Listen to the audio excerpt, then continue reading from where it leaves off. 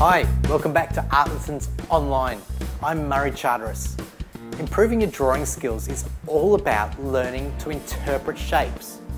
Our brain usually tries to trick us though into changing the shapes of the objects that we're drawing in an attempt to make them more recognisable. Now we need to try and stop our brain from doing that and instead only draw what we're seeing. I'm about to show you a great way to change the way that we draw shapes. This lesson is all about learning to follow the real shapes that we're seeing. And it's lots of fun as well. Come on, I'll show you how.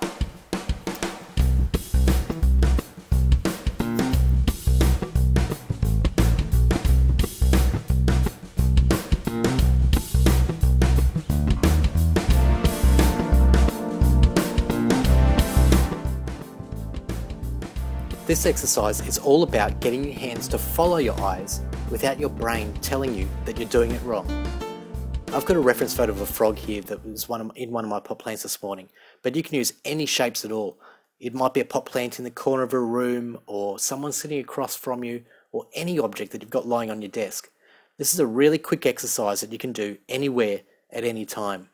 From just doing this one exercise several times a day, you will rapidly improve your drawing skills. The idea is to get your hand to follow your eyes as you explore the shapes that you're seeing. To ensure that your brain doesn't take over and tell you what shapes to draw, we're going to take away one of the safety barriers that we use when drawing. And here's what we're going to do. Grab a spare A4 piece of paper and stick your pencil right through the middle of it. Push it halfway through and grip the pencil underneath the sheet of paper like this. Now we're going to draw like this. That's right, you're not going to be able to see your drawing. We're going to draw the shapes simply by following the outlines of the shapes in front of us without looking at what we're drawing. Start by picking a point along the outside shape of your object. Usually start at a corner to make it easier for yourself. Now with your eyes, slowly move along the, the edge of your shape. Move your pencil across your drawing to follow the movement of your eyes.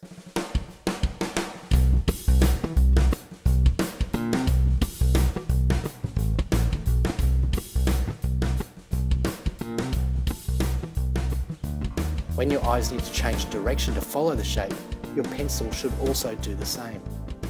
Don't lift your pencil off the paper though, this is really important.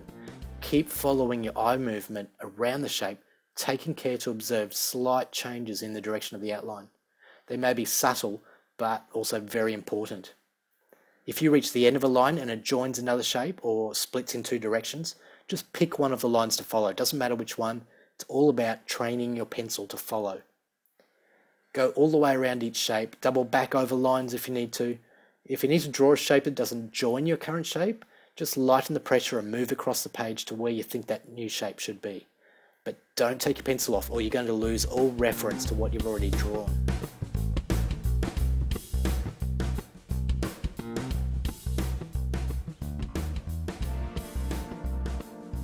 When you've finished going over all of your shapes, you can have a look at your creation. Now, alright, it may look a bit weird. It may even look very abstract.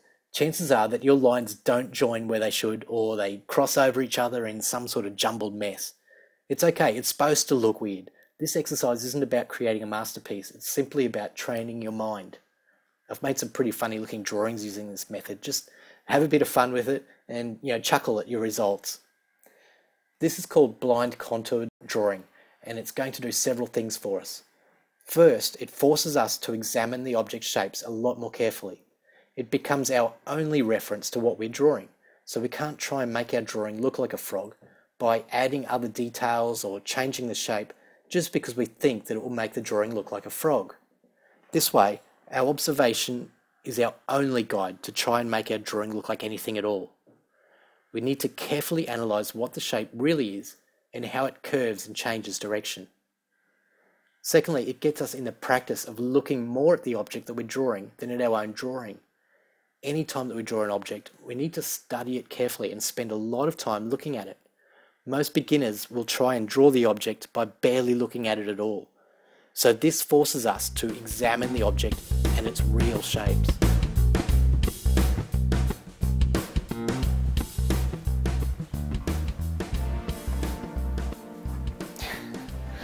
Well, okay, it does look kind of weird, but it's kind of cool too. And we're seeing some resemblance to the object. It is sort of following the lines, um, perhaps not in the right positions, but the lines are sort of following the right shapes anyway.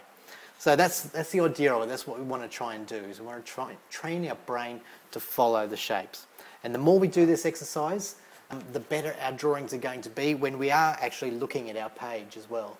So after you've done this a few times, maybe half a dozen to a dozen times, go ahead and try and draw the object and look at what you're doing as well. And we'll see how much better that result is going to be. All right, well, thanks for joining me on artlessonsonline.com.au. If you want to download the picture of the frog, it's there online for you, so just go and download that. And I'll, I'll see you next time. Okay, bye.